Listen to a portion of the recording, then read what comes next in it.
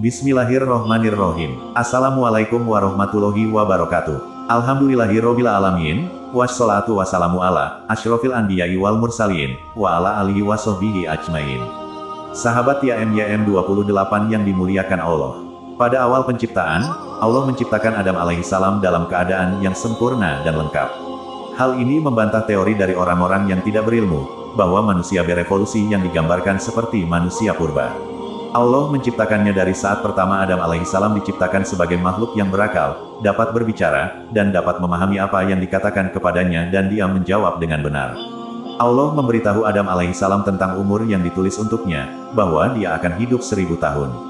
Manakala umurnya telah mencapai seribu tahun kurang 40, malaikat maut datang kepada Adam alaihissalam untuk mencabut nyawanya. Adam alaihissalam pun menyangkal keinginan malaikat maut. Dia membantah malaikat yang hendak mencabut nyawanya sebelum ajalnya tiba. Adam alaihissalam menghitung sendiri umurnya tahun demi tahun. Maka Adam alaihissalam mengingkarinya karena lupa. Dan inilah yang mewarisi sifat anak cucu Adam alaihissalam. Mereka mengingkari seperti Adam alaihissalam mengingkari.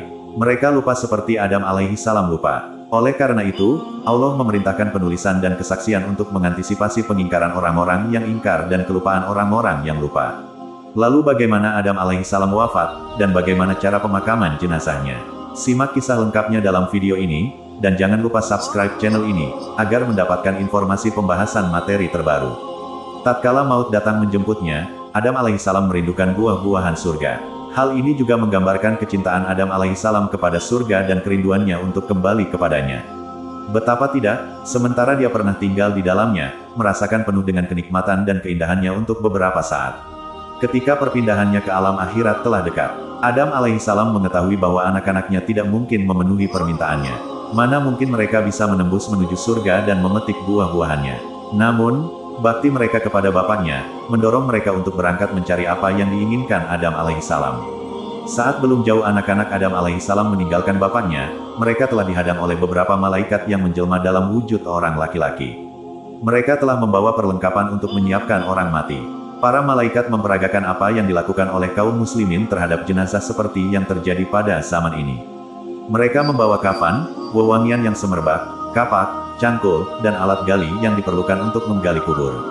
Ketika anak-anak Adam alaihissalam menyampaikan tujuan mereka dan apa yang mereka cari, para malaikat meminta mereka untuk kembali kepada Adam alaihissalam, karena bapak mereka telah habis masa usianya, dan telah ditetapkan ajalnya. Manakala para malaikat maut datang kepada Adam alaihissalam, Hawa pun mengenalinya sehingga dia berlindung kepada Adam alaihissalam. Sepertinya Hawa hendak membujuk Adam alaihissalam agar memilih hidup di dunia, karena para rasul tidak diambil nyawanya sebelum mereka diberi pilihan antara kehidupan dunia dan akhirat sebagaimana yang disampaikan oleh Rasulullah Shallallahu alaihi wasallam kepada kita. Adam alaihissalam tidak mempedulikannya dan memarahinya dengan berkata, Menjauhlah dariku, karena aku pernah melakukan dosa karenamu. Adam alaihissalam mengisyaratkan rayuan Hawa untuk makan pohon yang terlarang saat keduanya berada bersama di surga. Lalu para malaikat mengambil ruh Adam alaihissalam. Dan mereka sendiri juga yang mengurusi jenazahnya, dan menguburkannya, sementara anak-anak Adam alaihissalam memperhatikannya. Kemudian para malaikat itu memandikannya, mengkafaninya, memberinya wangi-wangian, mensolatinya. Selanjutnya para malaikat itu menggali kubur untuk membuat liang lahat, memasukkan dan meletakkan Adam alaihissalam di dalam kuburnya. Lalu mereka menutupnya dengan bata. Kemudian mereka keluar dari kubur dan menimbunkan tanah kepadanya. Para malaikat mengajarkan semua itu kepada anak-anak Adam alaihissalam. Mereka berkata, Wahai Bani Adam alaihissalam, ini adalah sunnah kalian. Yakni, cara yang Allah pilih untuk kalian dalam hal mengurusi jenazah kalian.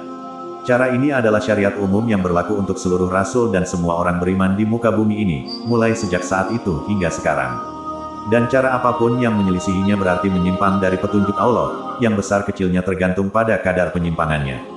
Barang siapa melihat tuntunan kaum muslimin dalam urusan jenazah yang diajarkan oleh Rasulullah Shallallahu Alaihi Wasallam, maka dia pasti melihat kesamaan antara hal itu dengan perlakuan para malaikat kepada Adam alaihissalam.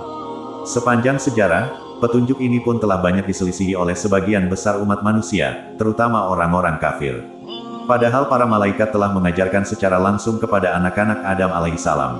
Ada yang membakar orang mati, membangun bangunan-bangunan megah seperti piramid, untuk mengubur orang mati dengan meletakkan makanan, minuman, mutiara dan perhiasan bersamanya, dan lainnya.